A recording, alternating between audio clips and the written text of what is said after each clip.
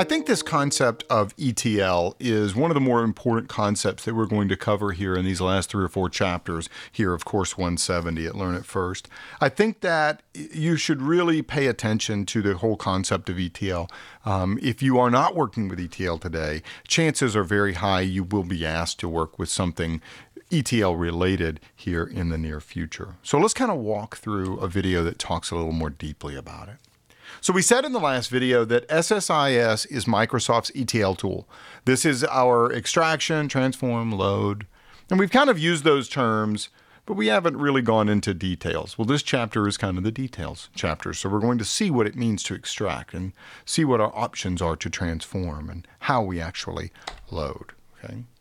Now, we again, straight out kind of the last video, most of our businesses have data in a lot of different formats. You have a database on SQL Server. You have a database on SQL Server 2005, a database on SQL Server 2012. You have a database on PostgreSQL, uh, uh, some DBase files, some old Visual FoxPro applications that nobody can seem to get rid of. You have um, expense tracking in Excel.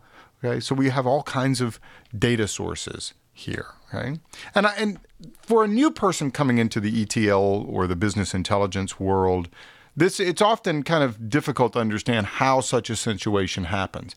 I find I found myself when I was first getting into this, maybe a little over a decade ago, saying, "Why would these companies come up with all these different data sources? Why don't they just all use one SQL server and be done with it?" Now, it's really not so easy. Let's take a scenario that kind of walks us through ideas of how things like this happen. Okay. So let's say that it's 2001 and we're going to model the AdventureWorks company here. And the AdventureWorks company has already a brick and mortar store. And so they launch in 2001, belatedly, right? A web store and they want to be able to sell their bicycles and parts and so forth on the internet. Okay. It's an ASP based website, and they launch with a SQL Server 2000 database. Very cool. So, the, and the customers, by the way, if they have questions, they just say, hey, here's our phone number, give us a call. Or here's our email address, customer service at adventureworks.com, right? And so they're supposed to just email them directly. No fancy ticketing system or anything like that, okay? So 2003 comes along and they are doing really well. And they decide to buy a competitor. Okay.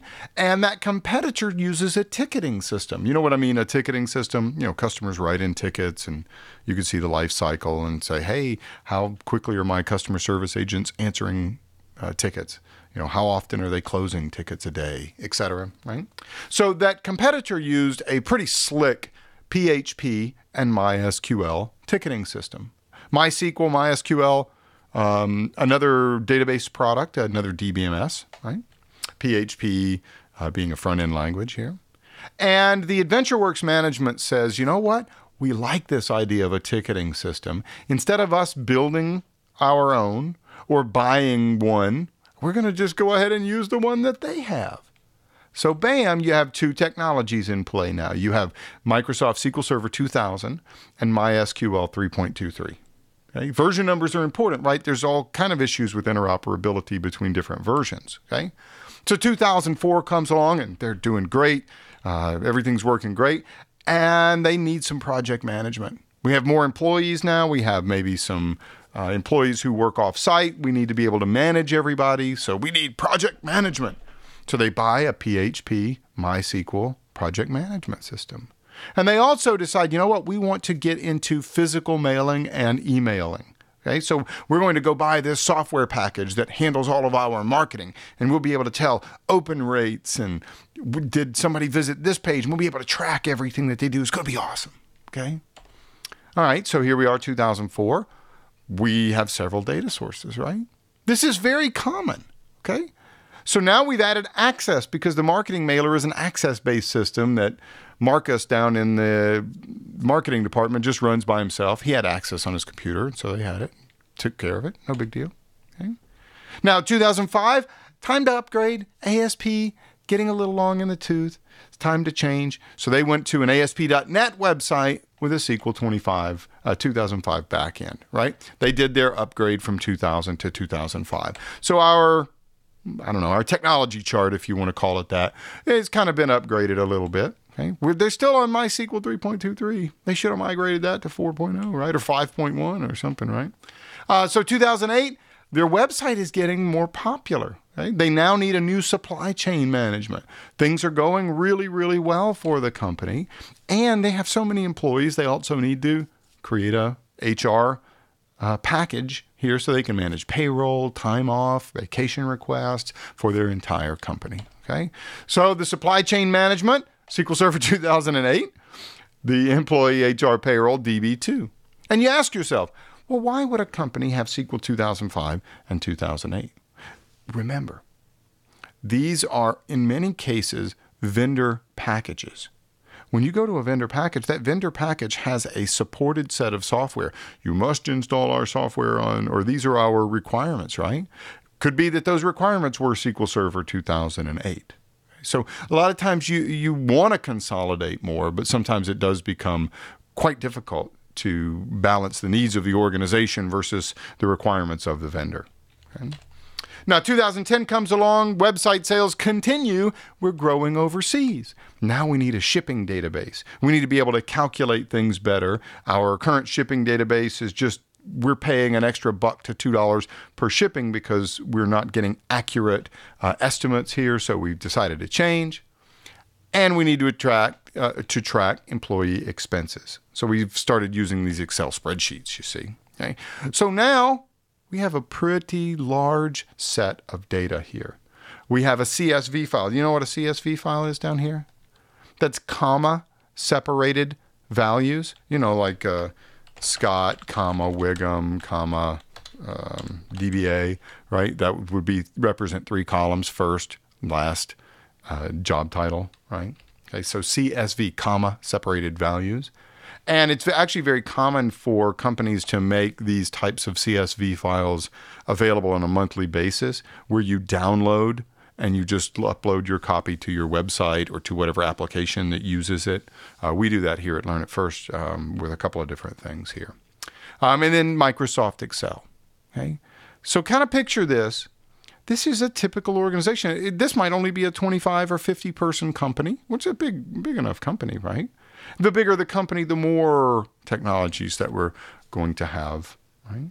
So it's now 2012, and company executives and management have been playing a game. Okay, you know this game, right? Buzzword bingo. I made this one. I thought this was kind of funny. This was an old bingo card that Microsoft put out at a professional developers con to uh, um, uh, PDC uh, conference. I couldn't think of the C word. Uh, I don't know, 97, 99, something like that. And I just kind of whited it out and put the words in here. But I mean, these are all buzzwords, right? That you know that CEOs of a 50 person organization are talking about the data quality and they want some scorecards and market segmentation this and master data that, right? so with that word, right? Uh, with that game, sorry, your executives want a BI solution. Okay. So you name it, they want it. They want charts, graphs, uh, spark lines. Um, they want to slice and dice. They want pivot tables, pivot charts. Okay. But, oops, no money. we can't go buy an off shelf off the shelf package. Sorry, we don't have four million dollars or a million dollars or five hundred thousand. Okay, which is not the worst thing for you this is your opportunity, right? So you're, you know, junior level guy over at AdventureWorks and you volunteer and you say, "Hey, I'm this is what I want to get into." Boss says, "Great, go for it." Okay? So you decide to create a data warehouse. Okay. Deep breath here. All right. So th- this is a perfect time for a data warehouse. Anytime you have a lot of disparate data sources that you need to ultimately create a cohesive s- set of reports from, you should be thinking, how do I make my data warehouse? How do I get all this data from these different data sources, Access, MySQL, SQL 2005, SQL 2012, and bring them into SQL Server so that I can make a relational data warehouse? Okay. You then say from that relational data warehouse, that's going to be way too big for people to be able to query real time. So then I'm going to create a multi-dimensional database on top of it because multi-dimensional databases are pre-aggregated right? It pre stores all those aggregations. So my CEO, my uh, CFO, the IT management, They don't have to wait. When they want to run a query, bam, instant. Okay? That's the reason we go with multidimensional because it's pre calculated. And so you also decide to go and install Excel 2013 on all of the CEO, CFO, CXO, uh, and your managers so that they can do pivot tables and pivot charts. Okay, and you're gonna you could put Power Pivot on if you were doing tabular or something.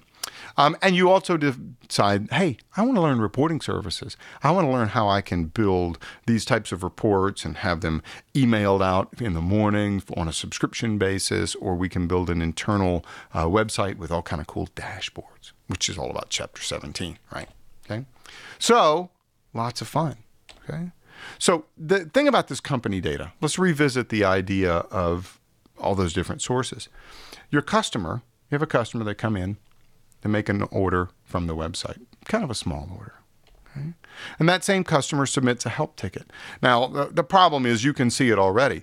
The SQL Server 2005 database that runs the website doesn't talk to the MySQL 3.23 database that runs uh, the ticketing system, right?